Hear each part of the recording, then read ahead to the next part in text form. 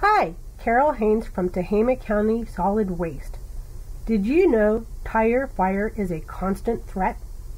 With more than 30 million tires generated yearly in California, Cal Recycle is actively working to eliminate illegal tire piles to reduce the fire threat.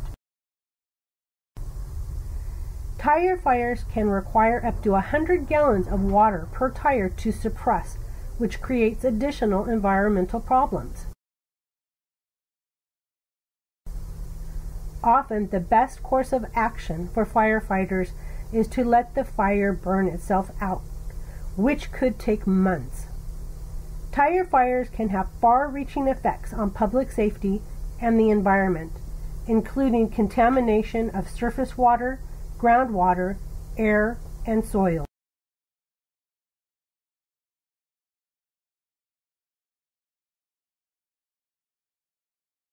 Do your part. Recycle used tires.